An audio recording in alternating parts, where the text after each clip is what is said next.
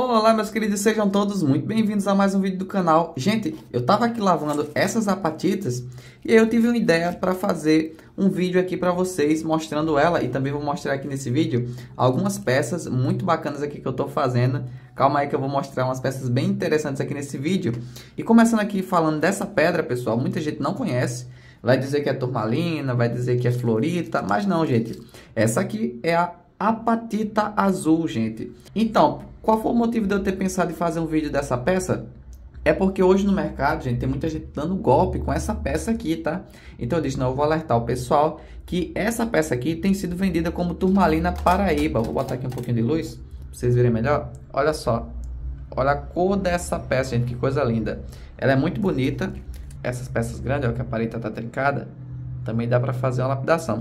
Imagina, gente, quanto não custaria essa bandejinha aqui toda se fosse Turmalina Paraíba, gente. Seria muito dinheiro, né? Mas então, eu tenho mais de 20 quilos de apatita nessa qualidade aqui. Isso aqui não é turmalina paraíba, nem é sequer turmalina. E agora eu vou mostrar para vocês um teste prático e fácil para vocês fazerem aí na casa de vocês, para vocês identificarem e diferenciar essa pedra aqui da famosa turmalina paraíba. Olha só, pessoal, retirei aqui uma dessas apatitas, né?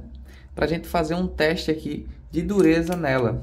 Para você ver como ela é frágil, olha só. Olha como ela acaba sendo totalmente danificada pelo estilete, gente. Que é uma lâmina aqui, olha como ela fica destruída, né? Então, isso aí já é um teste simples para você fazer. Se você tem uma apatita e você está em dúvida se é uma apatita ou uma turmalina. Eu estava aqui agora fazendo uns trabalhos aqui, parei para mostrar isso aqui para vocês também. Ah, aí eu separei aqui uma turmalina um canudinho aqui é meio de qualidade mais baixa, né? Mas vai servir para mostrar para vocês a questão da dureza da turmalina. Ó. Mesmo estilete. Agora olha a diferença. Posso fazer força aqui, ó. Tá vendo? Não acontece nada com a turmalina. Aquela marquinha que ficou foi a lâmina do estilete sendo gasta na turmalina. Olha só. Tá vendo? Porque a turmalina tem dureza 7 a 7,5 na escala de Mohs, enquanto a apatita ela tem dureza 5 na escala de Mohs. Se você quiser uma pedra para você lapidar aí na sua própria casa, na mão mesmo, lixando, essa aqui é a pedra ideal. Inclusive eu tenho um vídeo onde eu ensino a você lapidar pedra em casa, né? No caso da apatita é a mais fácil. Você pode fazer também com quartzo ou outros tipos de cristais. Eu vou deixar o card aqui em cima. Quando você terminar esse vídeo, aí você vai lá dar uma olhada. Agora, com certeza, né, a apatita ela é uma opção muito bacana para ser utilizada na joalheria, né, porque ela é uma pedra que tem um azul muito bonito. O problema está justamente no fato de que ela é solúvel em ácido. Por exemplo, tem gente que pega a apatita, aí faz a joia, né, com a apatita dizendo que é a turmalina paraíba, a pessoa acredita. E a turmalina paraíba, ela é resistente ao ácido, diferente da, da apatita, que não é resistente ao ácido. E tem gente que vai fazer um, um, uma limpeza no anel, por exemplo, coloca no ácido, quando sai, sai sem a pedra, por exemplo. então, essa é algo muito curioso. A apatita é uma pedra linda, porém frágil, né, de uma cor também muito maravilhosa, né? Porém, o seu valor é baixo. O quilo da apatita está saindo aí na faixa de 200 a 300 reais nessa qualidade aqui, tá?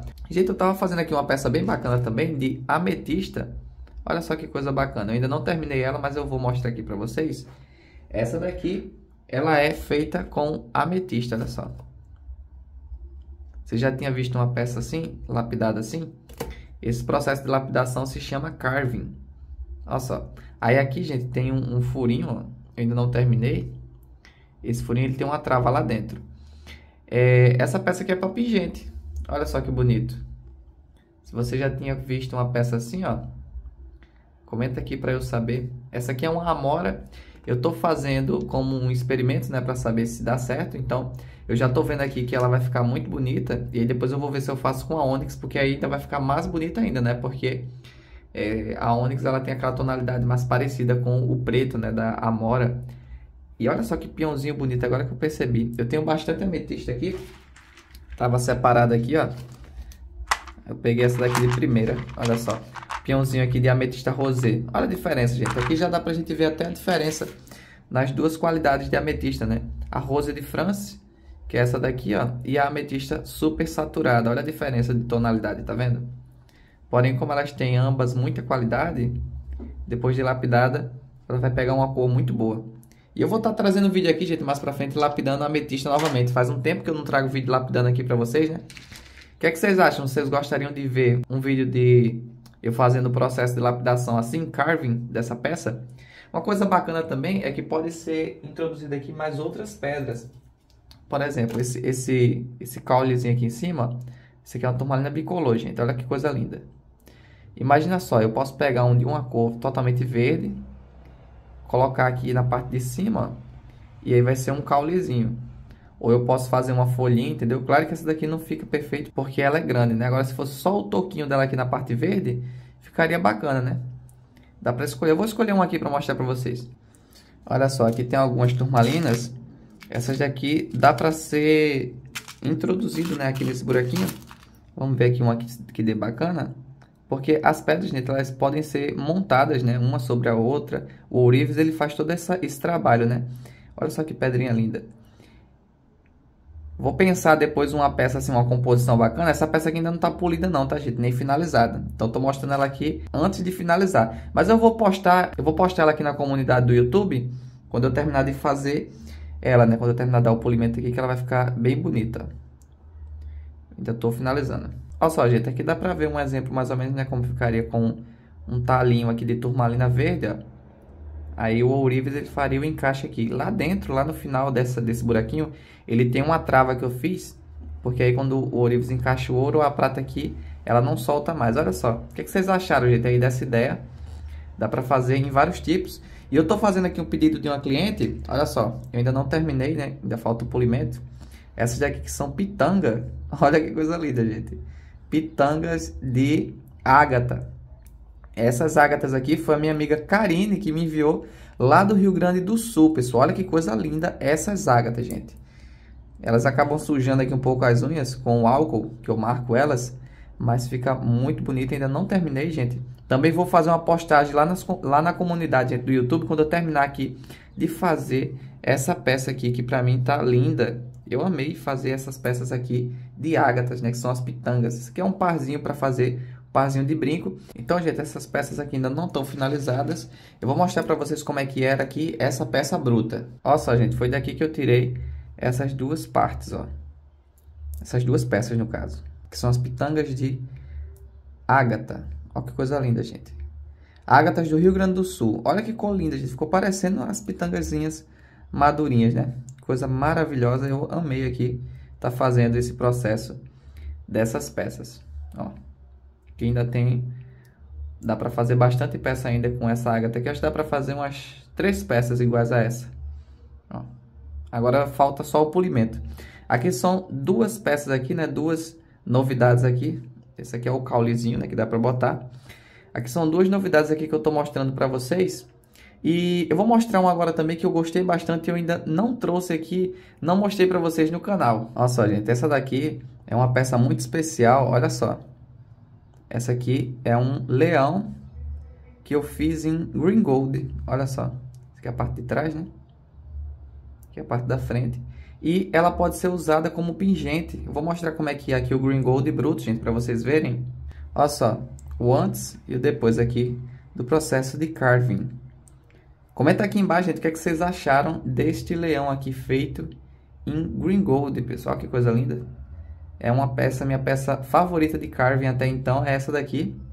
Demora bastante para fazer, mas o resultado, né, fica surpreendente, olha só. Ela é toda feita à mão, gente. Igual o processo aqui dessas outras peças que eu mostrei para vocês aqui agora. Então é isso, pessoal. Espero que vocês tenham gostado do vídeo de hoje. Trazendo aqui algumas novidades também que eu estou agora trabalhando, né? Com a lapidação em carving, né? Olha só, essas peças aqui, vou separar aqui para não danificar, né? Essa daqui é a apatita.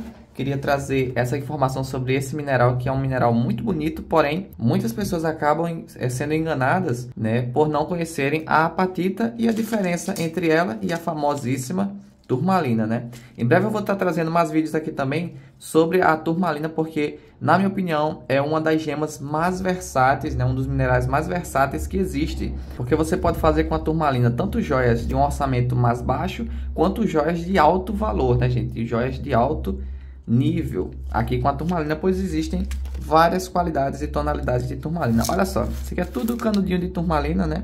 Essas peças aqui podem ser lapidadas ou podem ser feitas pingentes. Olha, olha essa indicolita aqui, gente, que coisa linda. Olha só. Imagina fazer um pingente aqui com essa pecinha aqui, ó, um pingentezinho de ouro, vai ficar bem destacado aqui. Ou um processo de carving aqui com ela, né? E tá introduzindo aqui a turmalina indicolita. Caiu aqui. Olha só que linda. Se você quiser comprar alguma pedra preciosa lapidada, gente, inclusive alguma dessas que eu mostrei aqui no vídeo, é só você acessar esse Instagram que eu estou deixando aqui embaixo, tá? Que é o meu Instagram e também o link está na descrição. E lá é onde eu posto todas as novidades. Quase todo dia tem novidade lá, pessoal. Olha só, gente, que fiozão de turmalina aqui que eu achei agora. Que linda. E caso você queira se tornar membro do canal, é só você ativar aqui a função Seja Membro, que fica do lado do botão de inscrever-se, pessoal. Olha que coisa linda, gente, que eu vi aqui agora. Bem bonitinha. A turmalina é uma pedra magnífica, gente. É por isso que eu gosto tanto dela. E já fiz muitos vídeos. Eu vou deixar aqui no card também, pessoal, mais um, um, um vídeo que é onde eu encontrei muita turmalina aqui na minha região. Tá? E quando você terminar aqui, você vai lá e dá uma olhadinha. Caso você ainda não seja inscrito no canal, inscreva-se no canal e ative o sininho para você receber as notificações quando eu lançar vídeos novos, ok? Então é isso, espero que vocês tenham gostado. Fiquem todos com Deus e tchau, tchau. Ops, caiu um aqui. Agora só falta o polimento aqui nessas peças e eu vou estar tá compartilhando, jeito com vocês lá na comunidade quando essas peças aqui estiverem totalmente prontas e polidas, tá? Então dá uma passadinha lá.